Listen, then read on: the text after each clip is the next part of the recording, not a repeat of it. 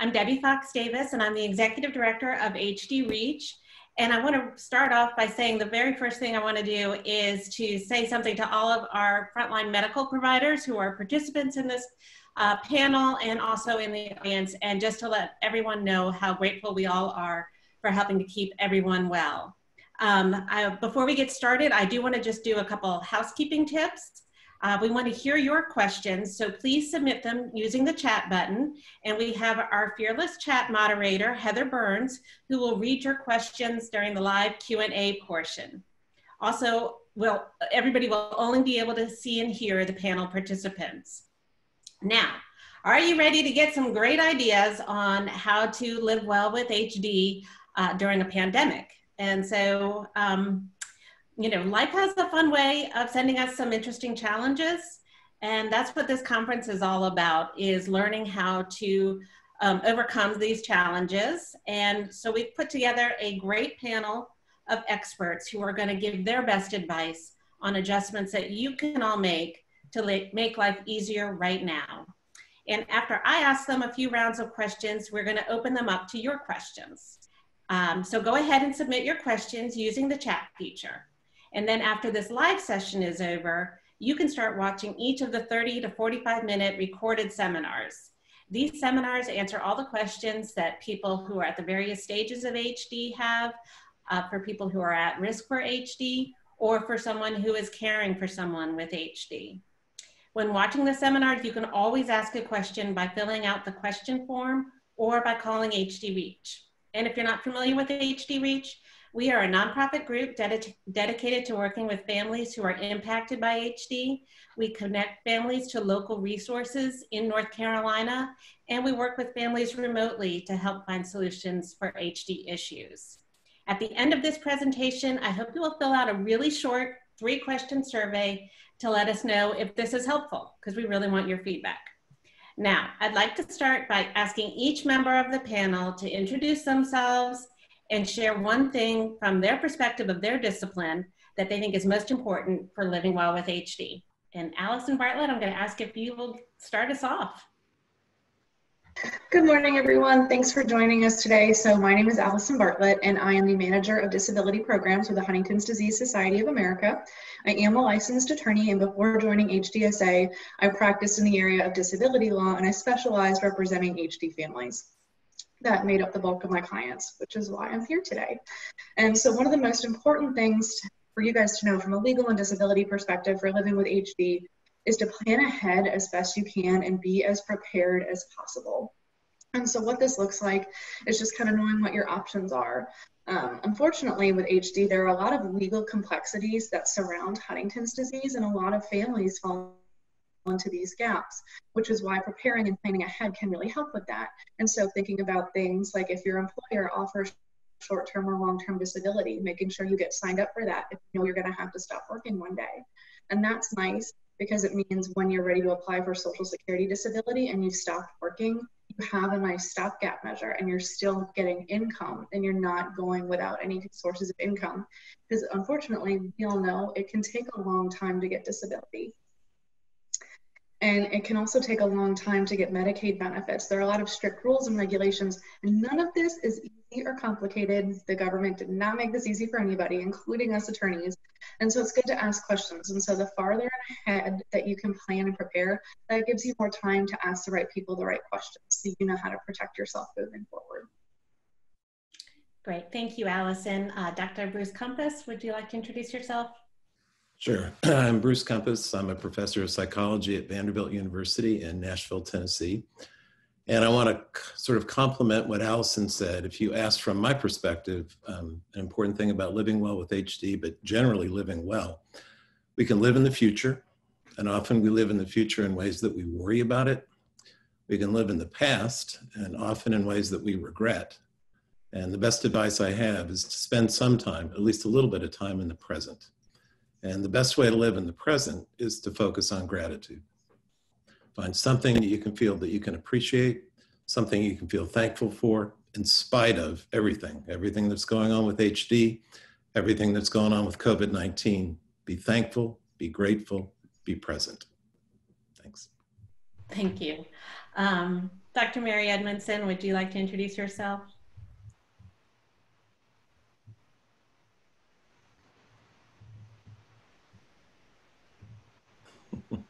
You are muted by the host. You are unmuted by the host. Can you hear me? So uh, my name is Mary Edmondson. I'm an internist and a psychiatrist by training. Um, I founded HD Reach uh, back 11 years ago um, for the purpose, uh, all the purposes that, that Debbie um, explained to you earlier and in, incredibly um, grateful for all the people who have worked so hard to keep HD Reach um, going and um, all of the all the lives that they have helped, you know, people that they've helped. I think the last time I heard, we've interacted with about a thousand people, which is a thousand families, which is who knows how many beyond that. So um, I also took care of Huntington's patients in my private practice. Um, I took care of people um, in an interesting way through HD Reach in that I supported the social workers who were caring for um, patients. And then um, I worked with my um, good friend and colleague, Bert Scott, at um, Duke University for several years, who has taught me everything I know about the motor aspects of Huntington's disease. Um, what would I like you to know today? Uh, so it's been 40, almost 50 years that I've been trying to figure out Huntington's disease. And what I can tell you is that families that talk openly about Huntington's disease, not just with their kids, but with each other and openly with the person who has Huntington's disease, always seem to fare better. And I think that's because when you talk to somebody who has Huntington's disease, and most importantly, you listen, that's, that validates that person's existence as a human being. And I think it's, it's pretty hard to understand sometimes people with Huntington's as the disease advances, but there's still a person inside there, and that person still listens to you, and they still can make very good judgments about how well they're being treated and how much they're being ignored. So um, I, I think that if there was anything that I would want you to know is to stay a family, talk like a family, and um, continue to involve your loved ones who have Huntington's. Thank you, Mary. Travis Scholar, would you like to introduce yourself? Sure.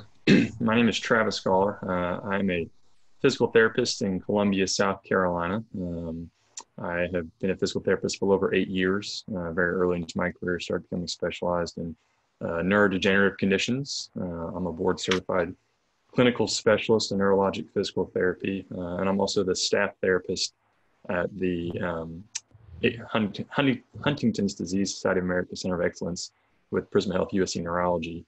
Um, I think obviously I'm going to be very biased with, with what I think is um, important for living with HD, and I think it's to be exercise and and realizing that that exercise truly is medicine, and just like you take any medication any day, um, making sure that you, no matter the stage that you're in, making sure that you're you're starting exercise in some way and keeping up with it, uh, and then to just piggyback with some of these what has already been said is kind of creating your team creating it early and that's that's including your social team your your family uh, your friends also creating your your medical team from neurology to psychiatry to uh, social work to nursing to your rehab team.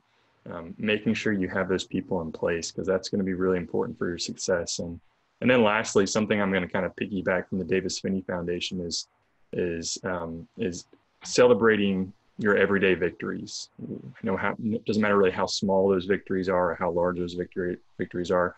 Uh, living in the present, like Dr. Compas said, and and celebrating those everyday victories. That's great. Thank you, Travis. Um, Dr. Bonnie Hennig Trestman and Dr. Trestman, would you like to go next and introduce yourselves? Sure. Hi, everyone. This is Dr. Bonnie Hennig Trestman. Um, I wear a couple of different hats in the HD community. One is that I'm the director of Carilion Clinic's Huntington's disease program here in Roanoke, Virginia. I'm also the special programs director at HD Reach, uh, and I'm also on the board of directors at the Huntington's Disease Youth Organization. So I wear a couple of different hats in the HD community. I've been part of the HD community for about two decades. Uh, in terms of my perspective, I think knowing that there are resources out there that that there whether you are talking to kids whether you want to um, find out about nutrition or physical therapy or movement that there are resources out there. You just need to to look and find them. And that really does piggyback off of what travis was saying is to make sure that you are connected with a healthcare team. Um, if you go to a doctor who says i don't think there's anything that can be done or i think you should be tested or you shouldn't be tested and they're not actually in the HD community and know it's okay to look other places, to look for the resources because they really are there in multiple languages and in multiple uh, disciplines. So know that, that if you need help, there's a lot of different resources that you can find. Good morning, everyone. Uh, I'm Dr. Bob Trestman. I'm a psychiatric consultant to HD Reach. I'm a professor of psychiatry and chair psychiatry at the Virginia Tech Carilion School of Medicine and Carilion Clinic. And in terms of the kinds of specifics for thinking about Huntington's disease in our families, particularly now at the time of COVID 19, there's so much anxiety, there's so much fear, there's so much frustration that is a part of everyone's life. HD is one element of it that can really exacerbate, make it a lot more challenging. And so the only recommendation I would have, which weaves in to everything that's already been said, quite honestly, is don't feel alone. There are resources, and it's so important to reach out. And now, just like with this conference, electronically, you can reach out to people who are expert in supporting you and your family worldwide. And my encouragement is to do that. Thank you. Fantastic. Thank you. Ann Lassiter, can you introduce yourself? Sure. Good morning, everybody. My name is Ann Lassiter. Uh, I'm the former executive director of HD Reach. I was a member of the board, and probably my um, biggest criteria is that I am a member of an HD family. Been living with Huntington's in my family since I was 11. So um, I'm not 22, so well over my uh, half my life. Um, so as I've watched um, families live with this disease, and I've watched my own family live with this disease, my biggest piece of advice is to be open and honest with each other. Talk about Huntington's, which you all have heard about from um, the other panelists. But the other thing is, you know, as, as I've watched people over the years, each generation, it's different for each generation. But be aware that how you're managing with Huntington's, your openness, your willingness to talk about it, paves the way for the next generation to live well with Huntington's. And they can learn from what you're doing and all the good things you've been doing along the way. To be proud of how you're working with your families on Huntington's, your openness, and know that you're doing more just by living a good life and asking for help when you need it. That's great. Thank you, Anne. And Chandler Swope, would you like to introduce yourself? Yeah, my name is Chandler Swope, and I'm the Director of Youth Services for the Huntington's Disease Youth Organization. Um, we're a global nonprofit that works with young people impacted by HD. Um, you know, a lot of what I think is is important has been said. I think communication, open, honest communication is key in families, knowing that particularly with young people, they have a right to know about HD. They have a right to have a safe place to talk about HD. Um, but I also think that recognizing within families, everybody gets to live their journey with HD the way that is best for them. Um, and we, within families, within the community, we need to honor that and respect that because what works for one person doesn't work for another. And particularly in families, finding that common ground of how to communicate when not everyone communicates the same way, not everyone has the same thoughts and beliefs about how to live well with HD, and that happens. Um, but the more open and honest communication families can have and respectful communication can make that a lot easier. Wow, that's fantastic. Great. Thank you all so much for being here. And I'm going to jump right in with our first question um, that I want to address to Anne, Dr. Bonnie, Mary, and Travis. And that is what adjustments can be made during the prodromal or early stages of HD to maximize independence? Anne, would you like to start? Sure, sure. Um, so the prodromal stage is the stage before um, a lot of the movements start to take place, and it's more cognitive and psychiatric things that start to happen. And probably the number one thing that you can do is get some help. Um, you know, I've heard Dr. Edmondson say before if you have anxiety or depression, which are uh, common symptoms, get some help for that because there's a lot you can you can do to help solve for that. You know, if you're starting to see some things, um, use use the normal types of things that help people remember things. Use lists um, and and talk about this. You know, spend time talking um, about what symptoms, if you have HD, what things are happening and how you can problem solve around it. Um, our, one of our greatest superpowers is actually um, problem solving. So the way you do that is you brainstorm and you talk to each other and you come up with some outside the box ways of living life on a daily basis. Um, using some tricks and tips to, to get you around that. So to me, it's very practical things after you've gotten the, the medical help that you need. Um, things that just are, are um, like lists and calendars and using your smartphone and reminders and, and all of those things that can help you. That's great. Dr. Bonnie, would you like to share your wisdom? Actually, Debbie, I think uh, Dr. Burton Scott's on the line. So if you wanted to go back just to have an introduction for him. I'm so sorry, Bert. Please uh, that's introduce fine. yourself. Uh, so yes, I'm I'm Burton Scott. I'm a uh, movement disorders neurologist at Duke University.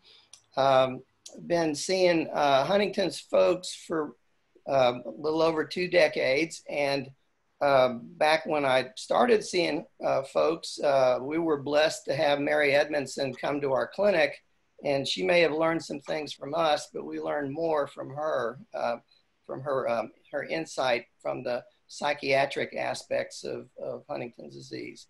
But so we have a um, a uh, uh, Huntington's Disease Society of America uh, Center of Excellence at at Duke, uh, and um, I'm also involved with the uh, with the HD Reach um, board as well.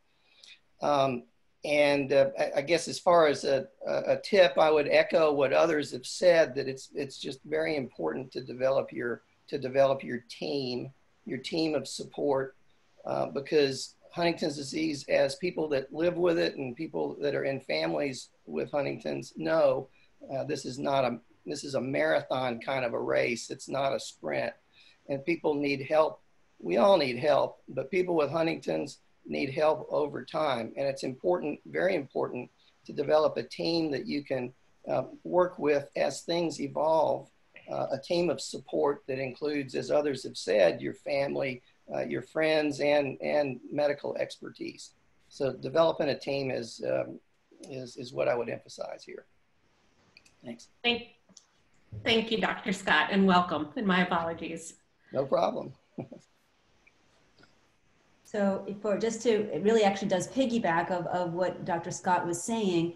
I think in terms of adjustment, um, that even in early stages, when you do have a connection with a healthcare team, then you can monitor how things are going. And when you have communication with your family and have open communication to say, here's where I am now. I might not have um, symptoms or I might have early symptoms, but the more that we can communicate, because I as a patient might not be able to see some of the progression, I think that that might really help. So it's very much what Anne was, was mentioning, but also just really working with a healthcare team and making sure that you do follow up, whether that's six months, whether that's every year, or whether it's much more frequent because you feel that you just want to touch base with somebody also having that connection with a healthcare team allows you to be able to talk to them about clinical trials that might be available. So being a part of an observational trial such as Enroll HD will give you an opportunity to possibly get into other trials. And we are really looking for people in those very early stages. So that's really nice in terms of working with a healthcare team. Great, thank you. And Mary, would you like to answer the same question? Yeah, sure. Um, it's you you asked it so long ago that I've kind of forgot the context of the question, but I think it's about um, what can you do early on to to um, uh, set yourself up to succeed um, with a life with Huntington's disease. So the first thing that I would suggest is that you explore um, the correct healthcare team, like Bert was saying. But I'm going to give you a couple of pieces of practical advice about how to do that and the order in which you need to do that.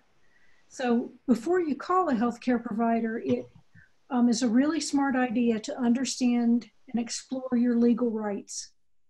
Um, because before you um, have any medical records or anything's on paper, you have to explore whether or not what like what things you're capable of receiving before you are considered at risk and what you're able to receive afterwards and so um, having disability insurance life insurance um, long-term long-term care insurance is really important i think understanding that you have a right to health care regardless um, of this particular disease and that you have a right to work um, so i think that's the first step is exploring your legal rights um, I think you should carefully choose your providers. This has the potential, a likely potential to be a lifelong relationship.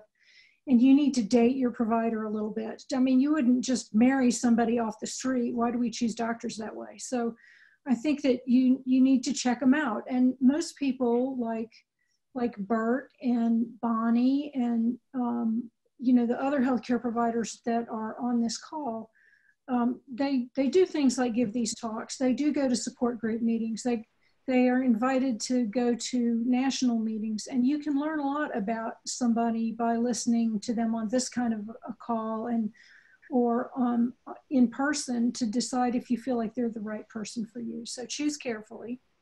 Um, you need to consider your readiness to know the truth. Um, and readiness is very different from one person to another. Um, everybody constructs their own plan. And like Chandler was just talking about, because I had to write it down, what she said is you have to, a right to do it your way. And until there's a definitive treatment, you, you that what you the things that you can do are all related to what makes you function the best, makes you happiest, makes you the best person you, that you can be. So um, consider readiness and what um, what you want this to look like when this process of becoming a patient, like you want to know what that looks like before you, you start tackling it. And then finally, um, I think uh, everybody needs to choose a really, really supportive and mature partner to go this path with them. So it's a very different relationship that, than you would have with a friend. It's a very different relationship than you would necessarily have with your minister because people that that decide they're going to love people who are at risk or love people with huntington's they're going to walk down a, a, tough path of their own. And um, at the same time you have really strong people that come into your life for a short period of time and there's not the expectation that they're going to walk the long road with you. So i think having a conversation about the role of that person in your life and what you expect and what they expect and being open with them is every bit as important as being open with your family. So i guess um, the most important thing i would say and this is completely a personal opinion i don't have any data to support this at all but the people that i've seen who prepare early they seek diagnosis early, um, it, it's not the end of the world for them. And sometimes the diagnosis can actually be sort of a beautiful spiritual event. It's one of the most important things you'll ever do in your life. And um, so it, it's not, it doesn't have to be devastating. And, but you have to decide what you want it to look like. So um, I'd like to empower you to do that. Thank you very much, Mary. And Travis, can you answer? The question was about um, adjustments that can be made during the prodromal or early stages of AHD to maximize independence. Absolutely. I think um, all the, the recommendations for adjustments up to this point have been spot on, but I think the one area where I'm going to focus, um, you know, my, my attention with, with these recommendations is what I know best, and that's me exercise. Uh, and I think um, specifically being proactive uh, in the earlier stages and prodromal stages and and not being reactive and waiting until later on when when now we're having more issues with movements and, and quality of life but uh, i think you know, even in the prodromal stages and in the early stages, there's there's research showing that it's it's beneficial for cognition and and day-to-day activities and even motor function. So um, doing it, starting exercising uh, when you're moving well, when you're thinking better, um, taking small steps now to start incorporating, and that might be just reading reading about it, you know, educating yourself of, of how exercise can benefit you. Um, but also then taking small steps. Maybe it's put, getting a network of people in place uh, to help encourage you on days that you don't feel like you want to exercise, or maybe a workout buddy or an accountability partner. Uh, and I think by um, by being proactive, by incorporating exercise slowly, um, I think in doing it while you are thinking better, moving better, you're going to start building your self efficacy and confidence that you can do this, that you can exercise, so that when down the road when things start to change a little bit and maybe it gets harder right you have you have that you can fall back on knowing that you've done this in the past um, and you can continue to do this uh, now and in the future uh, just with some small adjustments. That's great. Thank you um, this next question i'm going to ask to bert allison uh, bob chandler and bruce the the question is, what recommendations can you give to caregivers that you have seen work well for others? And Bert, would you like to get us started? Yeah, so um, I would start uh, by saying I think it's um, important and people benefit from uh, developing some sort of a healthy uh, routine, um, uh, which incorporates um, uh, enough sleep, uh, you know, regular nutritious meals and uh, recreation. Um, and uh, in the recreation part of that, one might, um, you know, find some sort of a project that um, that you can see results from, that you can um, complete in in steps, and you can see results along the way and results um, at the end. Um, but patients do seem to do best when they have when they have a routine. Now, uh, the routine's going to change over time, and there will be perturbations to the routine. But um, if you have a, a, a base where expectations are being met, because at a you know generally at a certain time one kind of activity is going to happen, and then at another time another sort of activity is going to happen um, patients seem to do better with that for a longer period of time.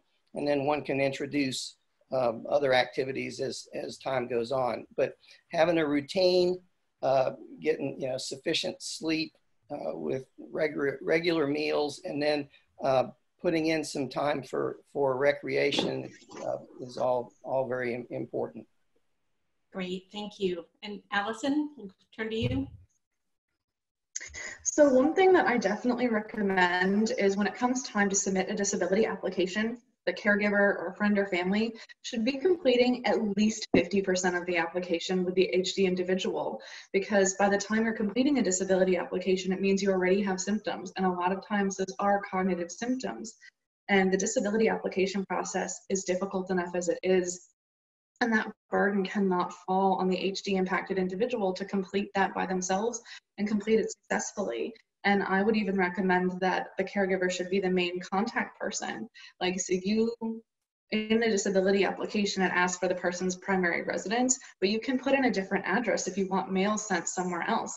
You can put in a different phone number if you don't trust that the HD individual will answer Social Security's phone calls. And these are really important things to consider. I, I it took me a while, but I came up with an analogy last night. It's like if you're a pitcher in baseball and you break your arm, well, then you can't pitch, but it also wouldn't make sense to move you to third base because your arm is still broken and you still can't throw the ball. That's kind of how it is if you expect someone with HD who has cognitive difficulties to be able to complete the disability application on their own. Yeah, you took them off the pitchers now, they're not working anymore, but you're just moving them to another position on the field that they're still going to struggle with. And so it really helps to really be involved in that process and also to echo what a lot of other people have said. I think everyone else has said this. Um, having that support system and also with you're the individual with HD, you don't always recognize your symptoms. And so having someone else help you through that process means you can complete and submit a more detailed and accurate application. Because when you have HD, and because we know that these symptoms can progress slowly over time, you may not be aware of these things every day. You live with it. It is your new normal. And what your normal is, is very different than like the average working American. And that's what Social Security wants to see. So the more help you have getting that, the better. And if you've done a really good job of getting your care team, like with all of these awesome people on the call, you may never actually need my help because if you've done everything to do everything and get everything in place in the first place, you have a great medical care team, you have all the other things in place, those things may speak for themselves. Like if your doctor has great medical record notes and Social Security can see that, then you may not ever need an attorney because your case speaks for itself. Great, thank you. And Bob, can you answer this question? Of course. Caregiving is an enormously enriching experience for most people. Part of who we are as people is that we love being in relationships and we take great emotional satisfaction in those relationships. Sometimes they can be very easy, sometimes they can, uh, we take more than we give. And in a relationship, when you're caring for someone with Huntington's disease, over time, you may end up shifting that balance from taking more to giving more. It is, as was mentioned already, a marathon. It spans months and years, and the demands keep changing.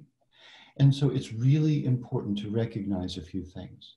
As people, we have our limit. As people, we need other people. And so it's really crucial that if you are going to be successful in not only in the role of being a caregiver, but of being an individual as well, that you seek support, that you care for yourself, that you make sure that all the appropriate recommendations that we have for people with HD, you follow as well that you make sure you get enough sleep, that you eat well, that you exercise, that you take care of your own health, that you find and make use of support groups. What we find is that so many people feel that they are going down this road in an isolated way. But that if they find that there's so many other people walking similar paths, they can share the emotional support from one caregiver to another usually facilitated by a professional, they can take great emotional strength and creativity in the love and the care that they can provide.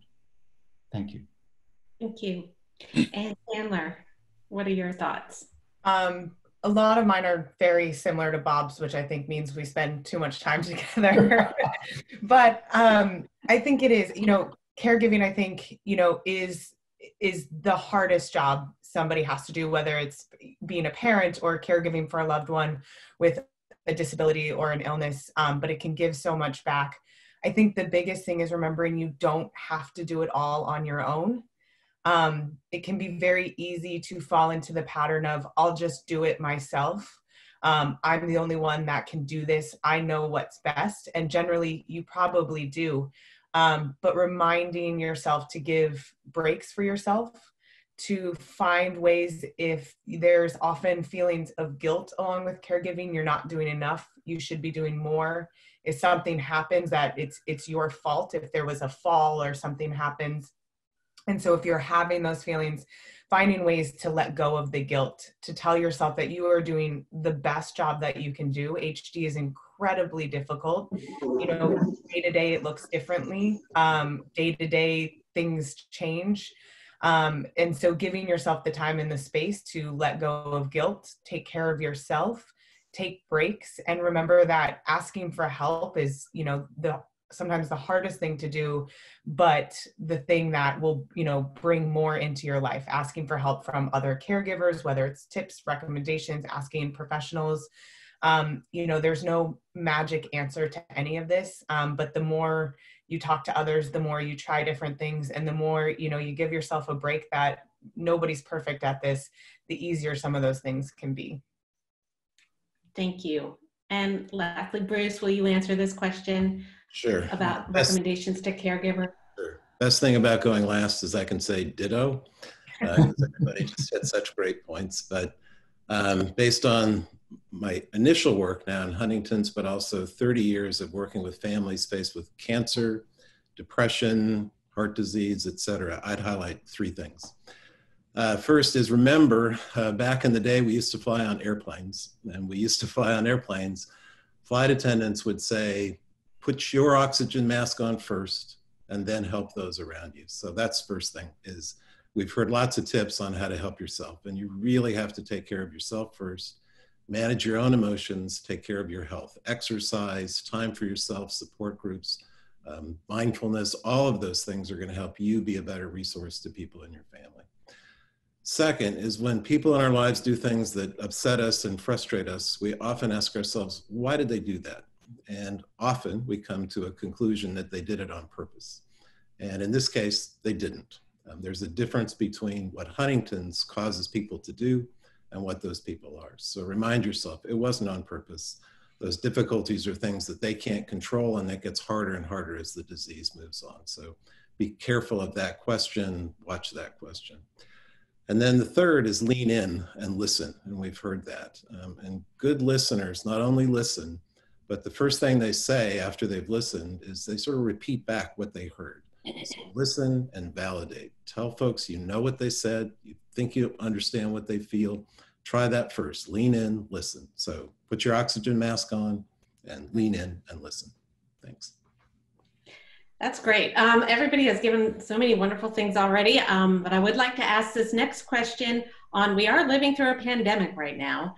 Um, so I would like to ask if everybody could give us their one piece of best advice about living well with HD during these interesting times that we're in right now. And I'm going to do this again alphabetically, but I'll reverse it. So Chandler, would you go first this time? Yeah, I think the biggest piece is just go easy on yourself right now. I don't think anybody's okay right now, even in the best of circumstance. So just give yourself a break, you know, do what you can each day. And the days that are hard to motivate, the days that the entire family is is, you know, feeling unmotivated, be okay with that and just take care of each other, you know, reach out to the loved ones far away. Um, but just remember that you know it's okay not to be okay right now and you don't have to you know do a million things to get every day to to feel successful. You know find one thing that you can feel successful and grateful about um, each day and that's that's enough right now. Thank you. Dr scott? So i would say that at this time when we're um, some of us are self quarantined and we're we're maintaining social distance, uh, wearing masks. Um, uh, when we're trying to taper off the effects of the virus, um, I would encourage people to try to stay connected nevertheless. And that connection can come by using the telephone, or if you're uh, tech savvy like the folks that organize this meeting are, uh, you can do video chats with people or Skyping or that sort of thing. But try to stay connected with each other electronically if you can, um, even though you may not be able to uh, maintain the physical connections that we'd like to maintain. But those will come back once the once the pandemic is over. Try to maintain um, electronic connections with each other. Thank you. And Anne? Yeah, so it's an interesting time. We are all together a lot, and there's a lot to be um, thankful for, for for that. A slower pace, time together with family, the the um, the return of the family meal. We're all cooking a lot. I've heard of the quarantine 15. You know, all of those kinds of things that are happening. Um, so it's good to be together, but don't forget to find some your you time, right? Some time on your own, doing some of your own things. Um, you don't have to be in the same room all the time together. You can take a little walk by yourself, or you can um, read by yourself. You, it, all this togetherness is good, but make sure you take some time to be um, alone, some alone time, because um, it's good to have that. As much as you you like being around your family, it's okay to spend some time and not do every single thing together. Right. And speaking of together, Dr. Bonnie's and Dr. Bob, would you like to, to go next? Sure. So I have two thoughts. The first is breathe. It is so important both to be in the moment as well as to control your anxiety by breathing and breathing slowly, not to survive, but to thrive. And there's so many different videos and, and guidances about how to effectively breathe. So please consider practicing breathing. The other is structure. In general, when we're self isolating, particularly in a family, make sure you try to structure the day so that there are different times when you're doing different things. So if you have that structure, you can rely on it. You'll feel stable. You'll feel things are more predictable. And certainly in a family with someone affected directly by HD as a patient, providing predictable structure will make it far more comfortable for everyone in the environment to feel both safe and that life is going on and it's going to reduce a lot of the frustration just to add to that, I think that it's really helpful for people to know that when you're feeling anxious, when you're feeling depressed, that that's the normal right now. So knowing that people are feeling that way um, is can be really helpful because it normalizes. And I think if you can visualize, sometimes when people feel you know that they're not sure where to get groceries or how to pay bills or everything is piling up, it almost looks like, as I explained to some patients, a huge pile of spaghetti and you just you can't attack it because it's just it's too big. But if you could take one strand out and say what is it i can do today? What is it that i can focus on that i can accomplish today? Then that can be really helpful. But know that what you're feeling right now is normal. And i, I think it will get better. So we have to just make sure we get through that that one day uh, to bring us to the next day. Great. And travis you're up Sure. I feel like uh, Dr. Compas right now. I just want to say ditto to everybody. but uh, to, to kind of piggyback off what Dr. Bob said, um, the idea of, of, providing structure in your day and scheduling it, and, and specifically um, the area that I'm passionate about being exercise, uh, making sure that you schedule exercise into your day. And just, and, know, maybe it's not per se exercise, but being physically active, not being a couch potato all day, but being physically active. If you're if it's safe for you to exercise, exercise.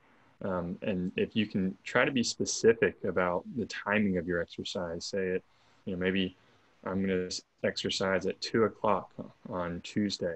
The, you know, if you are more specific with the timing of that scheduling and incorporating that exercise, it's more likely to happen because uh, I think everyone knows that our days get busy uh, even if we are at home, the days get away from us. And the next thing you know, it's eight or nine o'clock at night, and you thought, oh man, I didn't exercise. So, um, exercise um, because of not only the neuroprotective effects, but um, like like what's already been said, there's you know stress and anxiety levels are higher now, and, and exercise and physical activity is a great outlet to uh, to address a lot of that.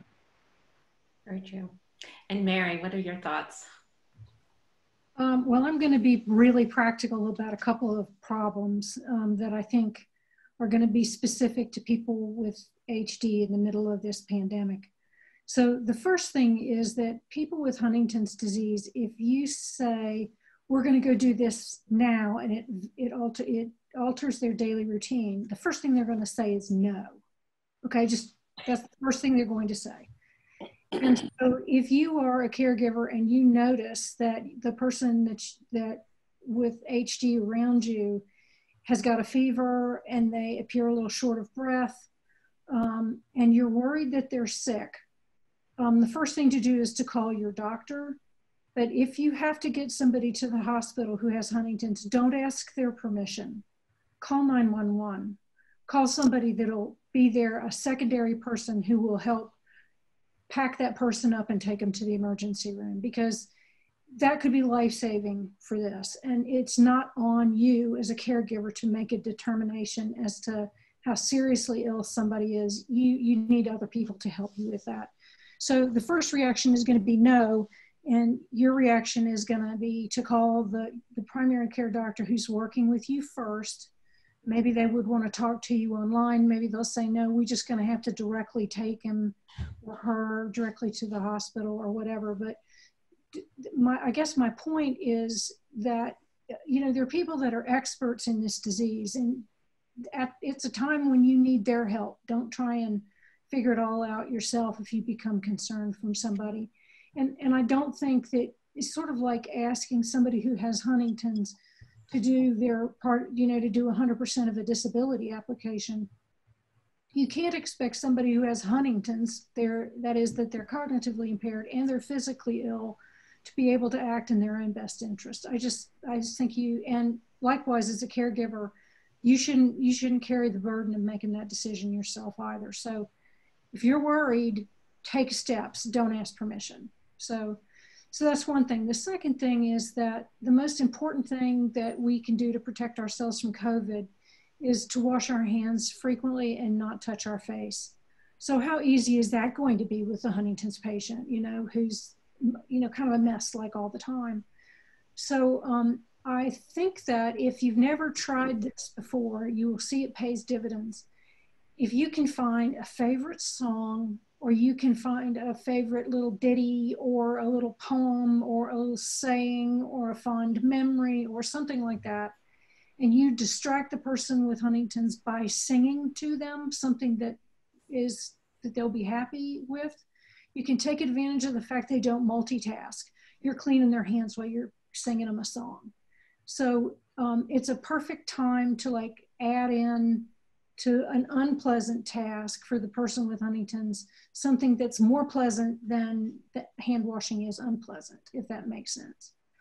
So I, I think that um, being prepared, having like a family safety plan, like, so my husband and I are both physicians and we both sat down and we said, okay, what are we going to do if one of us gets sick? You know, who's, who's gonna, who's gonna support the person taking care of me? What room are you gonna sleep in? All of that kind of stuff. And so I think it's um, it's sort of considering the worst case scenario and making plans for it ahead. And, and I would suggest that everybody do that. All of us on this call, all of us that are listeners, everybody come up with a strategy for what you're going to do if if uh, you know the unfortunate happens. Thank you. And uh, Bruce, you're not last, but almost. do you want to go next? uh, double ditto again. Um, so, about 20 or 30 years of research on how people cope with stress that's relevant for COVID uh, has validated the serenity prayer.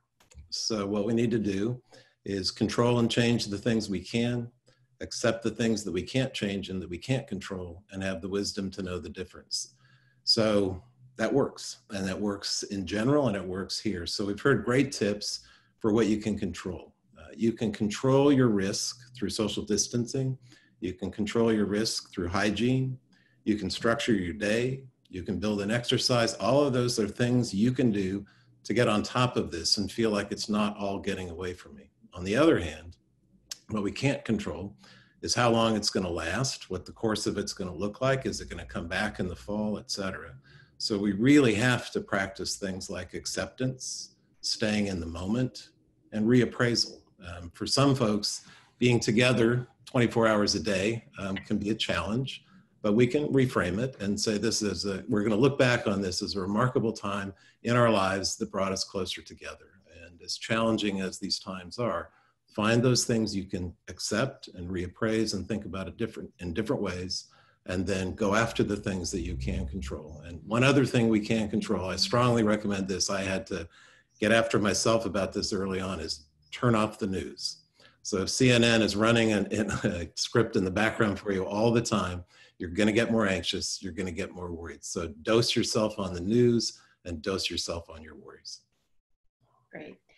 Allison, can you answer this question as the last one?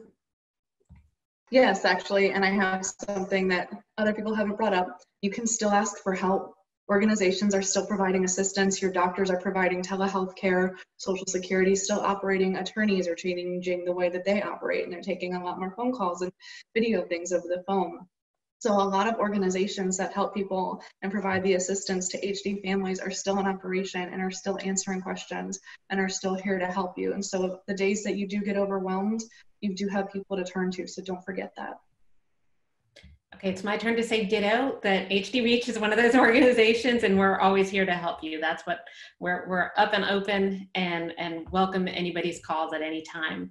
Um, but right now we're up and open and welcoming your questions and Heather Burns already has a stack of them. So she's gonna read them out and we'll let our speakers answer the questions that you have on your mind.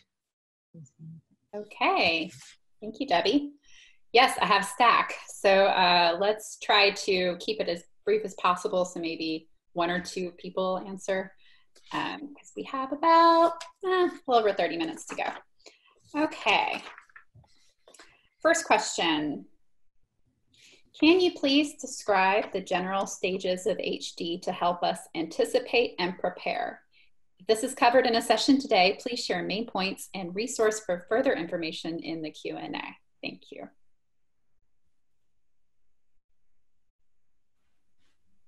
Anyone want to take that one? it's a pretty mm-hmm. long answer.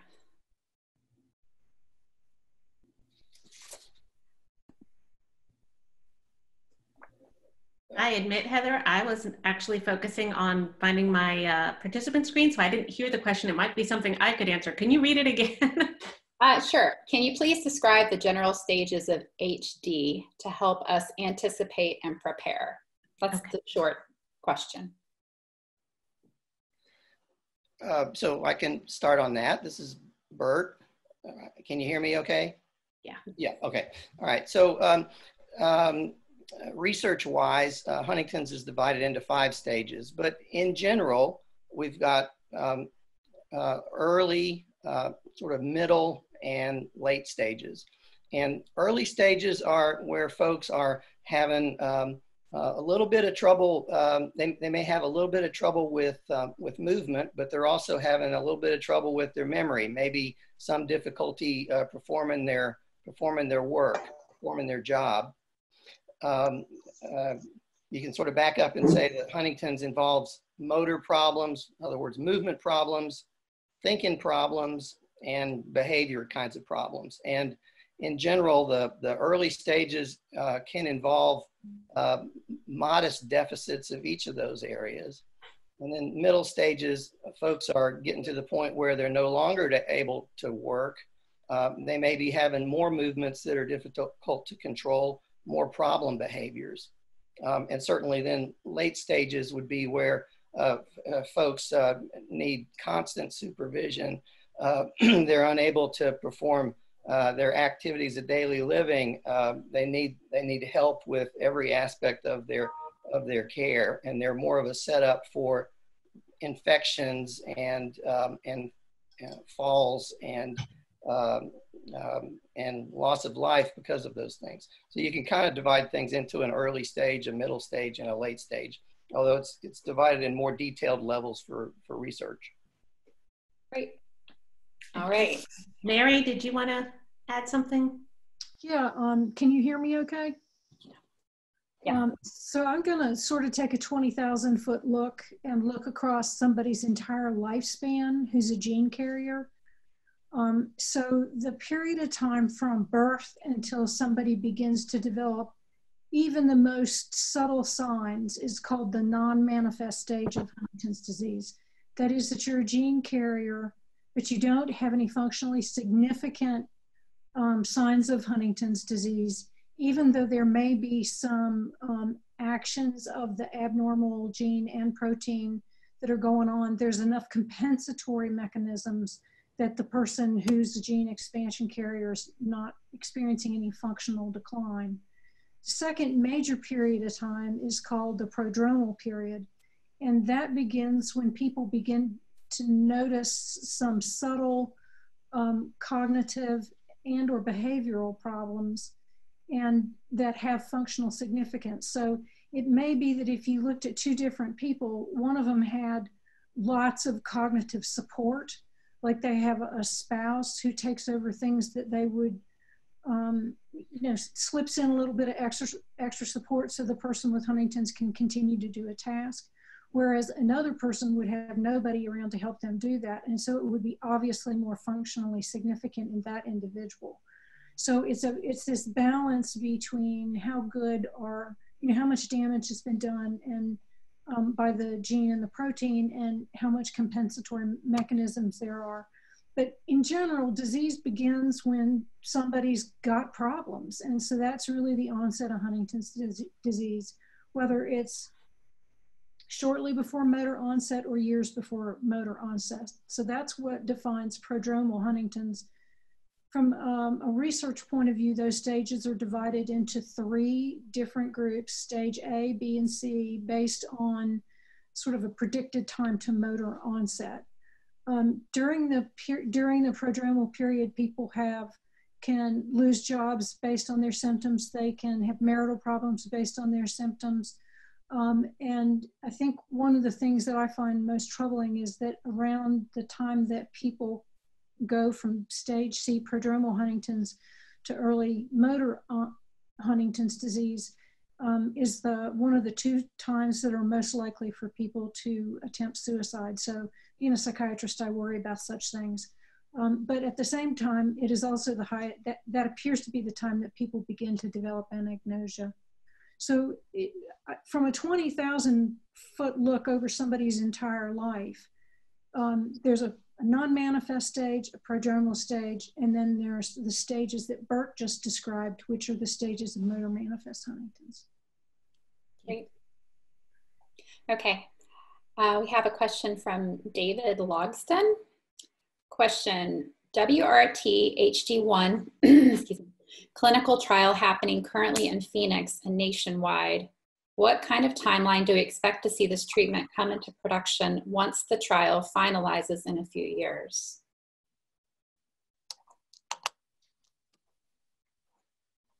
Anybody? Uh, I can't say I have any good information on that. Um, uh, so I, I, I don't have anything to contribute for that one. Okay.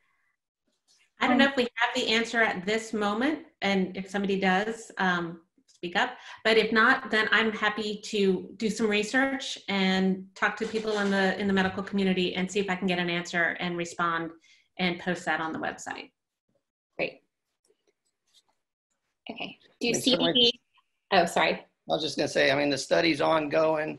They're uh, gathering information, um, uh, but um, how it's proceeding, uh, you know, so far uh, indications that um, I hear are that the, the, the, safety is, is good, but, um, um, but as far as results in patients, the most important part, um, that hasn't been uh, publicized yet. Okay. And, and I'll also just add that uh, Dr. Victor Sung has done a presentation on the future of treatments and the upcoming clinical trials that's available on this website. He's done a whole seminar on this. So I invite everyone to check that out and to see um, the information that he covers because some of that's covered in there. Great. Okay, another question. Do CBDs help?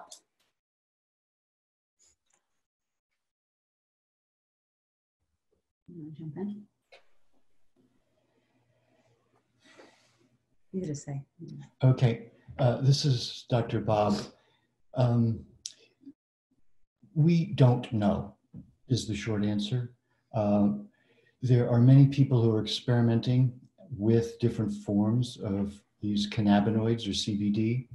Um, the theory is that if you separate out the uh, THC, that is the part of marijuana that makes you high, and just focus on the cannabinoids, the CBD part, that can, in theory, help with a range of problems from uh, pediatric seizures to uh, anxiety, and uh, people are listing 50 different benefits. Um, almost none of them have support at this point. And so we do know, however, that there can be significant problems with motivation, uh, cognitive impairment. So uh, I'm very uh, uncomfortable about their use unless it's under medical supervision. And we need clinical trials, you know, and, and I think that that's something that I think the HD community needs to hear from medical professionals that we will support uh, true clinical trials that are done uh, with sites who have regulations So I think that when patients come to us and say, well, it makes me feel better, or I saw this on YouTube, um, that's not evidence based. Um, and because you feel better doesn't necessarily mean it's going to be good for your brain. But as I say to my patients, I'm open that if there is a clinical trial, I will take a look at that. And I think that that's a great idea, but we're just not there yet. So something has to be very specific to Huntington's disease, at least my feeling uh, is that something needs to be very specific in terms of Huntington's disease and a true clinical trial. And Mary, did you want to add something? Yeah, I so like Bob said, there's no data about this um, in Huntington's, although there's a lot of active research in the general population. The one thing I, I think is that people should not smoke pot and they should not vape. And there's a couple reasons for that. We've got a respiratory pandemic going on. It's the worst thing that you can do right now is to smoke cigarettes or to, to smoke marijuana, even though um, they may, th- may be things that make you feel better. They're also the risk, the, hard, the largest risk for a complicated course with COVID. The second is that we don't know what we, there are people that have had very adverse reactions to vaping. So I think that if you're going to decide to use um, a marijuana based or a CBD based product, I wouldn't buy it off the street. Um, and I, I specifically would not use products that have much in the way of, of THC. I, I would, I think it'd be a little safer to go on the, on the CBD spectrum. And the reason that I say this is that only, not only, but 10% of people with Huntington's develop psychosis across their life cycle. I mean, we don't know exactly why that's true, and it certainly is one of the more rare psychiatric syndromes associated with Huntington's, but it does happen. And I would not change my risk to become psychotic. Um, if I know that I have a 10% risk uh, uh, higher than the general population, I would definitely stay away from THC and most specifically synthetic THCs.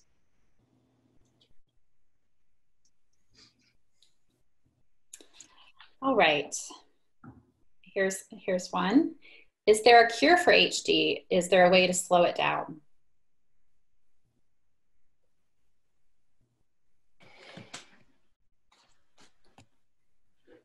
Uh, so there's no cure for Huntington's disease at this time. However, uh, what is exciting about this day is um, this era is that there are tests that are being done uh, looking at innovative treatments that may very well have an impact on disease course. They may help the disease course. Uh, but as of as it stands now, there are no uh, there's no cure. Uh, a number of different drugs have, and interventions have been tried in the past, looking to see if they modify um, uh, modify the, the, the disease course, but none of these have proven to be effective yet. However, uh, like I said, there are a number of, of clinical trials going on now testing new innovative treatments that we are hopeful will yield some, uh, uh, some good results, but no cure yet. To piggyback off of that, just remember though that we can treat symptoms. So if people are having some of these symptoms that all of us have talked about, it's really important to connect with the healthcare team. Right now, more than ever, we are so hopeful that there will be something to slow down, stop, and maybe even reverse the symptoms of Huntington's disease. We just don't know yet the more people that are in these clinical trials, the better off it's going to be. That doesn't mean you have to force yourself, but this is something to talk to your healthcare team about of what clinical trials am I eligible for. The more people we have in clinical trials, the faster we're going to find one of these. But please know that, that we can treat symptoms. So that's really important to talk to your healthcare team about. Great. So um, Travis, I was going to ask you a question um, because I had other people mention to me that um, there were trials that looked at exercise and that at least in a phase two trial, um, there was evidence of slowing of progression with exercise and physical therapy. Is that is that your recollection of that data? And has it been has it evolved any further?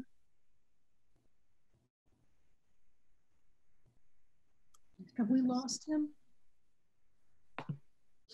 See his name up here. There we go. I was sorry about that. I was I was muted for a second.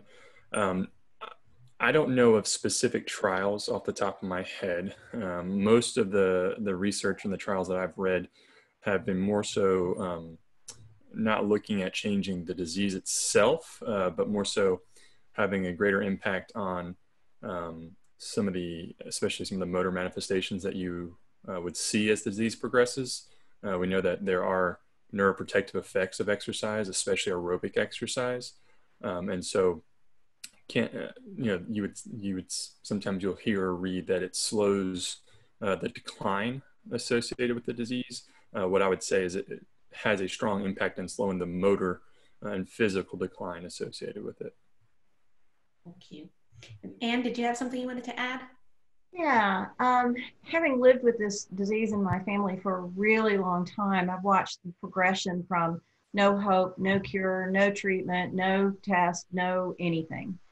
Um, and, and I have to say that even though right now there's not a cure, there's way more treatments, like Bonnie said, um, in terms of helping to, to manage the symptoms so that you can live a better life. I loved what, what Travis was saying about exercise. It's a huge benefit and it can really help um, help with the symptoms over over time. It helps everybody. So it's not just people with HD, it helps everybody.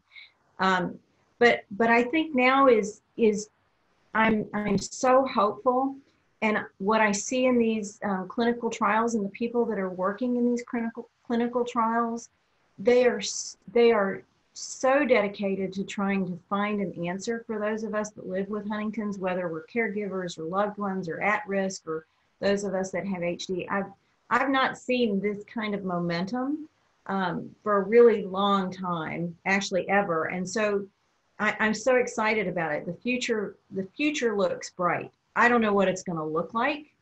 Um, I don't know what it's going to entail, but um, there's a real hope for, for the next generation and the generation after that, that there will be something to help us. It's just an exciting clinical trial time. I'm just so excited about it. Great. All right. Um, okay, we got another one. How do I talk with my young adult children about HD being in the family and about testing options available for them? And um, I have another similar questions about talking to your kids and grandkids about family and HD. Bonnie, you want to rock, paper, scissors here? Go ahead, you could start.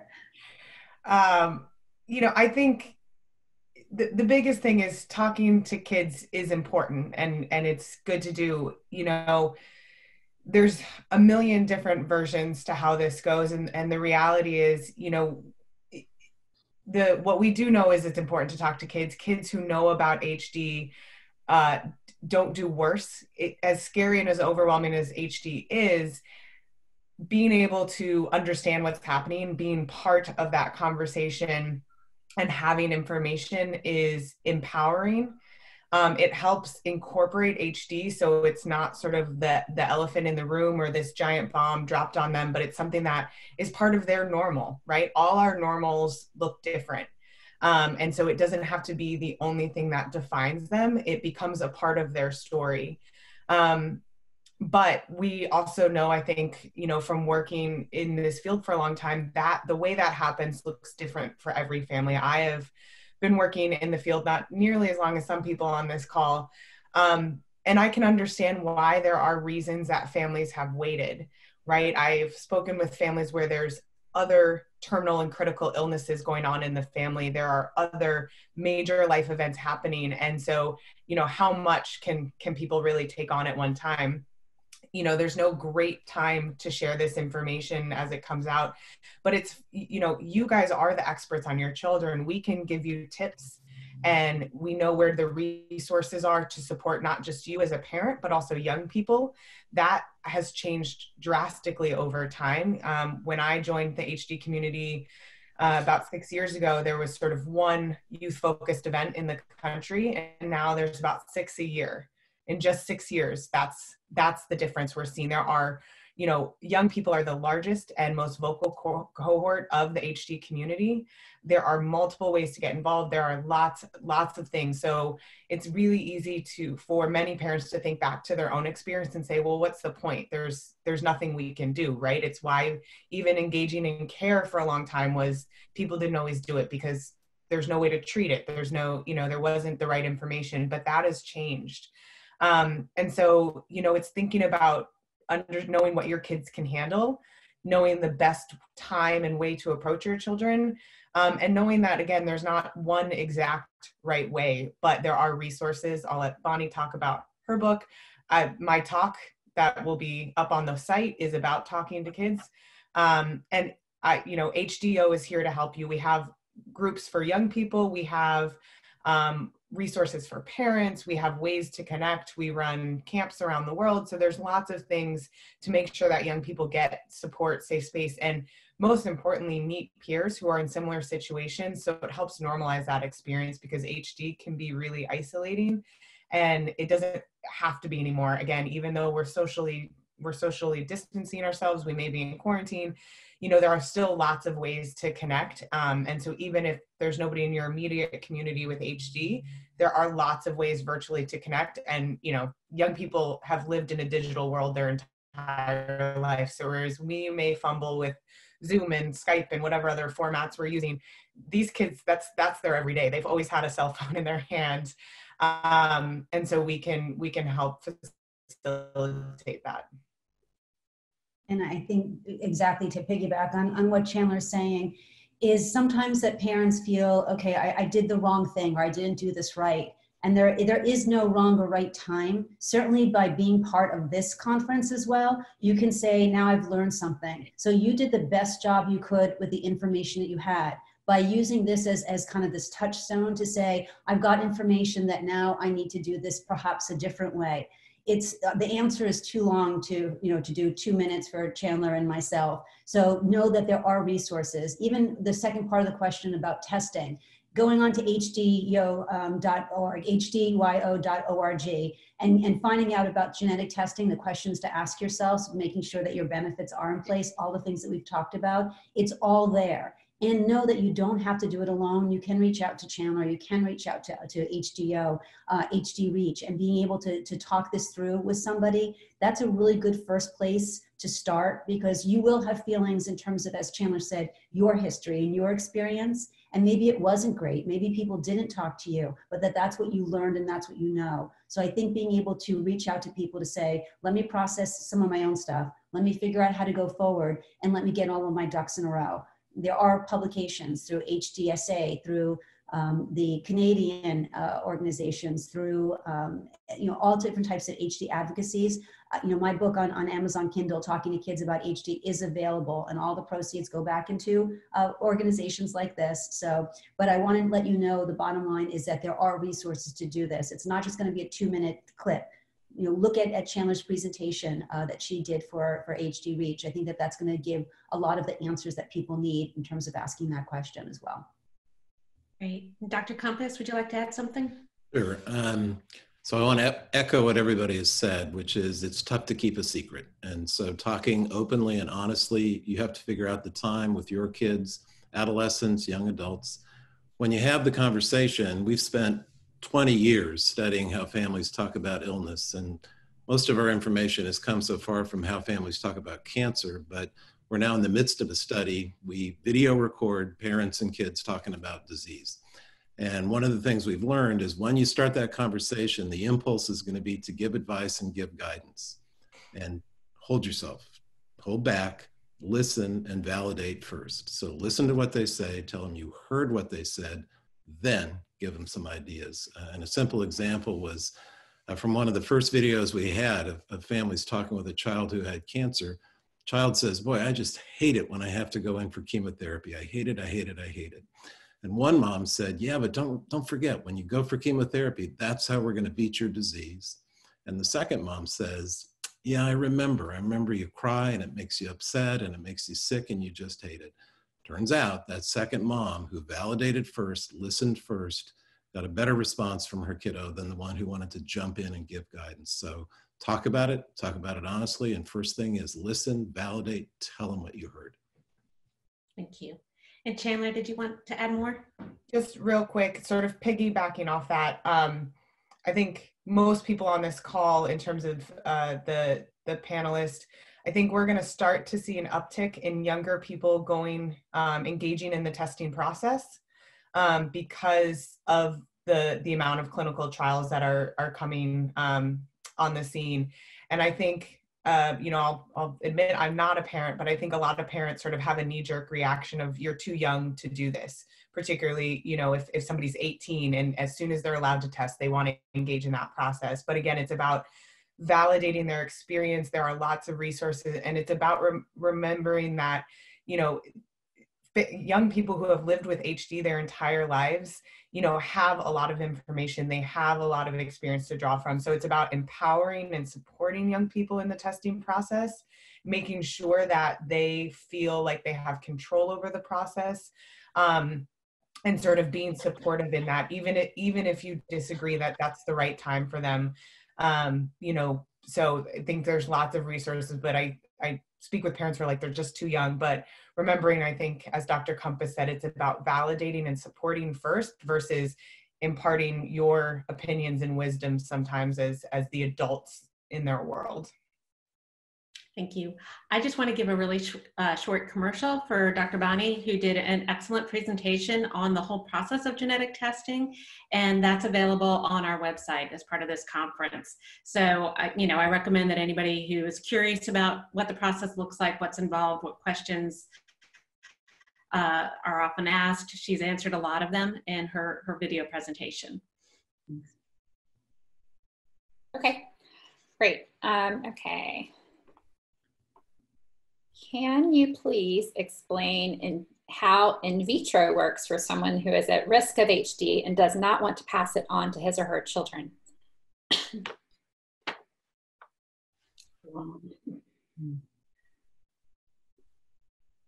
Um, well, uh, I would say that um, I'm not an in vitro expert. However, um, I, will kick this off, I guess, by saying that uh, the in vitro is certainly a, a mechanism where um, the the uh, the OBGYN folks can um, select embryos that don't carry the Huntington's gene um, and implant them into into the, the the woman for pregnancy. And so it's it's a situation where um, uh, egg is uh, eggs are collected from the female and sperm is collected from the male and they're mixed together and embryos are developed um, but selected for um, tested for um, to make sure that there's absence of the huntington's gene such that um, embryos that are implanted into the female are um, are without not carrying the disease it's a very expensive process, um, but it is a way to um, to assure um, you know lack of transmission of the of the gene. Thank you. And Chandler, did you have something to add? I was going to say, I think genetic counseling is a key component here. They'll have a lot of information. Um, HDYO, we did a webinar with a genetic counselor from Vanderbilt recently, so that's up and available on YouTube. Um, but I think working with your HD center, with the genetic counselor there, and then whoever your OBGYN is. Um, and there there are also some charities now to support the cost of that because it is, is it is an option that is available. Um, but I also think when it comes to having kids, that's also a very uh, personal subject for people in the community. So remembering that no matter what your decision is around having children, um, only you and your partner need to feel comfortable with the decisions you're making um, because again there's lots of ethics and uh, religious and lots of reasons people make the decisions that they make but there are lots of amazing resources out there for families so they have the most up-to-date information on what science is doing. Great. And dr edmondson would you like to add? Yeah i just want to add one thing quickly. Um, so Martha Nance, who is a neurogeneticist and has created most of the HDSA protocols and has worked with, you know, three or four generations of Huntington's families. So she has a lot of experience with um, uh, several generations um, and, and generations of people who've asked this question, you know, how can I make sure that my child doesn't have Huntington's disease? And um, the first thing that she says that I think makes a ton of sense is that every reprodu reproductive choice is a choice is completely independent of the others. So you may have one child that you simply had the old-fashioned way without genetics, without genetic testing, without knowing your own genetic status. And then at another time in your life, you might choose to have a second child, but a child that is conceived through pregenetic diagnosis, which is what the process that Bert just described. So I think it's important to understand that, that every choice is its own choice, its own independent choice. Um, the second thing that we haven't talked about is prenatal diagnosis, um, which is a very sticky problem. Um, if a woman gets accidentally pregnant or um, which uh, is probably the circumstance under which this would happen.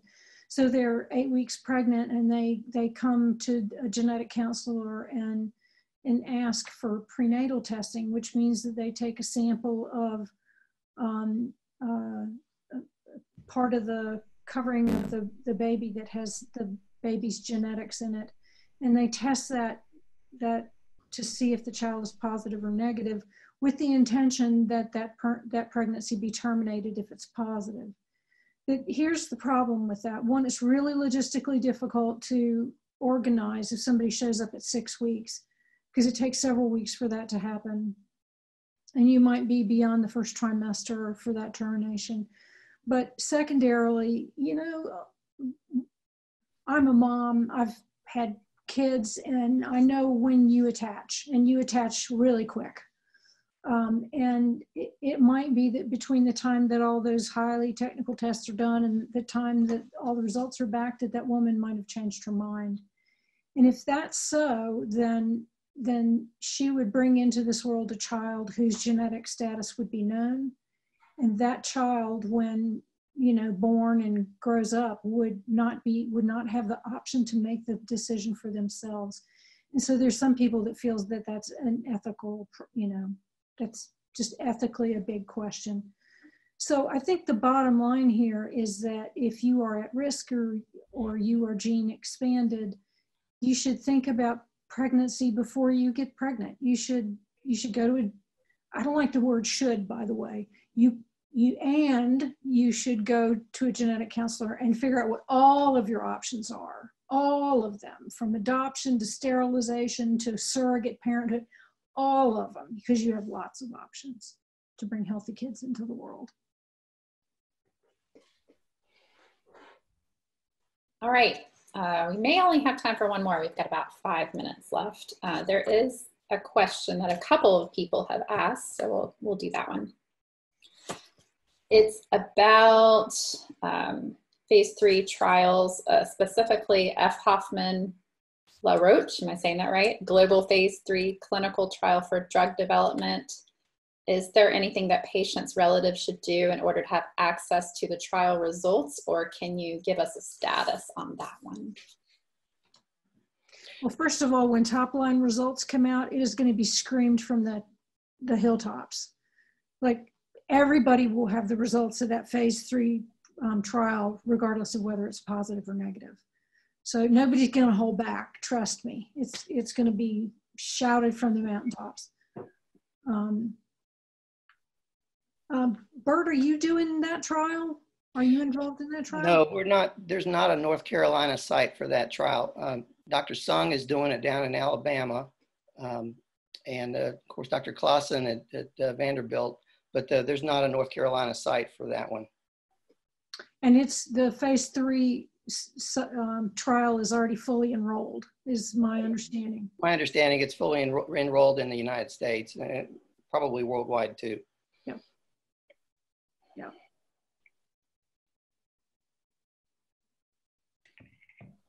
Great. Uh, I, quick? Yeah, I think we have time for, for another one. Uh, okay. So um, somebody asked that their spouse has refused medical dental care and she has several toothaches, broken teeth, abscesses. She has recently begun to try to brush her teeth but cannot due to motor problems. She may be getting to close to allowing a dental exam or cleaning. Any suggestions for medications to control the motor movements that would allow a dentist to perform their work? They may actually need to see an oral surgeon who can um, do some um, deep sedation in their office um, or even in the operating room. So those there are possibilities for um, making it easier on somebody, but being able to control the situation because somebody sounds like is going to have to be in her mouth for quite a long time. Um, I think that before then, you know, standard measures for pain um, and uh, soften up her diet probably until she can get there. And I, I think it's always important to not to talk about what the problem is. What are the symptoms and what is it, in what way is it hurting the person who's going to have to go through that procedure? And you can't, you can't take somebody to an oral surgeon and have them perform an extraction or really any medical care without I mean, you can't hold them down and do the sort of stuff. It's that's you know actually considered battery. So I think um, you have to you have to somehow let that person know it's their decision, but that you're very worried about how much pain they're in and how hard it is to eat, and you know how difficult it is to take care of your teeth when you have such you know, such difficult pain and such such a, a tough problem. Bonnie or Bob, do you have something you want to add? Yeah, thank you. I just wanted to um, kind of piggyback on what something that um, was already said, and that's really validating the person because a lot of the time it's about control. Some of these behaviors are about control so that they didn't want to go to a doctor or they didn't want to brush their teeth before. So if we can first validate that, maybe even just going to a doctor, it sounds like you're in a lot of pain. There might be something that we can do to help you, but you need to be okay with this. So is it okay if I give the doctor a call and just see what options there are? So as Mary said, not dragging them, but being able to say, number one, I acknowledge that you're in pain. And number two, I think we can do something to make you feel a little bit better. Can we just, can I call the doctor to make that appointment? So working with that person in terms of allowing that control to come back to them and then being able to say, let me give you options. And don't give them a hundred options, but be able to say, I talked to the doctor and there's an appointment tomorrow for you. I can go with you, you know, some so and so can go with you. Who do you want to go with you? So giving viable options might get them through a door. And then, as Mary said, being able to do something in terms of medically, sedation, or whatever it is to be able to see somebody. But I think it's about giving people control and options that really will help them to uh, stop that resistance a little bit. Okay, well, great. Thank you all so much. It looks like we're coming to an end of our time for the live portion of this conference. I know that there are still some questions out there that haven't been answered, so please continue to submit them and we will take all of the questions that have been asked and not answered yet. We will find get the answers for you and we will post them to the conference website. And I encourage everybody to continue um, going to this conference website. It, all of the videos from all of our expert speakers are going live as we speak. So you'll be able to watch all of their presentations. And I just want to take one more moment to say thank you to all of our incredible experts for being here, for pioneering this new form of education conference for HD Reach. And I want you to know how much we all appreciate you. Um, and I want you to know that please go on the site. And also, the site is designed for you to share it with everybody and anybody you know that's in the HD community so that we can help as many people as possible with the amazing information that they've provided. Uh, next, I just want to take a quick moment to thank our fantastic sponsors who recognize the benefits of making expert knowledge free and accessible to everyone. So Genentech, Teva, Wave, uniQure, Angels of the Abbey, Harborside Wellbeing, Terry Buhner, Tony Morris, Chris and Jackie Young. Please give yourselves a big hug from all of us for making this possible. And um, all right, that's it. I hope you will all fill out a survey form to let us know how we're doing. I hope everybody stays well, and I hope you will call us if you need anything.